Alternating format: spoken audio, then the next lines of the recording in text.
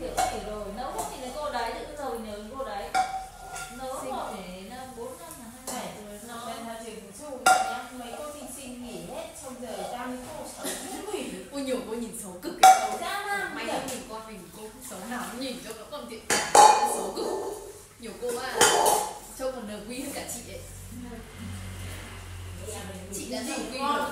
Chị đã nở quy rồi mà nhiều cô trông còn nở quy hơn sao lại còn bé nhá chứ cô ạ Ừ. sao kiểu sao thời đại này lại còn có người thấp hay cứ chứ bé bé mà lại mặc hiếp ôi là người mồm miệng tệ tụa lên ba bảy cái cô ấy bảo này bà nuôi cháu đi bao nhiêu năm mấy năm hai ba năm Ờ, nay rồi là chính là chúng thân nói rồi để em để ý cho nó sai em nhớ cô Giận cô mãi cô đấy à rồi nó bảo nó tự nhiên đi vào nó nó gặp cô xinh chị bảo con bé xinh thật khéo đấy chứ nó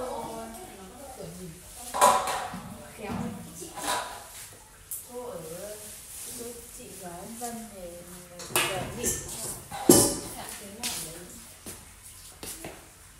cái đấy là cái bàn trải ở đây cái cái thứ sau cái gì ạ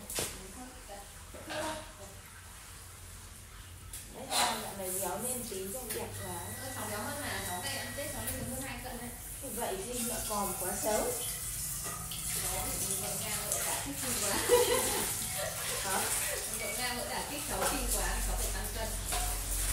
Đúng rồi mình phải tăng cân tăng cân lên cho nó người nó vừa phải vừa phải Ờ, lớn to còn quá nó xấu cháu lại rửa về rồi ăn đúng rồi cái thằng là tuổi già nó nhìn cần Đúng nữa. là tám đây Mẹ ơi Cái này nhà có để làm gì không vậy? Đâu? Đây này tám tiêu đấy đưa chó đấy Tháng tiên có cả này ở nhà. Nào. tháng tiên giờ này nhà tuổi già nhanh. Nó đấy nó đưa lấy cho mình nhìn thấy là mấy mảng xà bẩn hẳn em không có túi tiêu đợt này không rồi rộ bố đi. Ở chờ mãi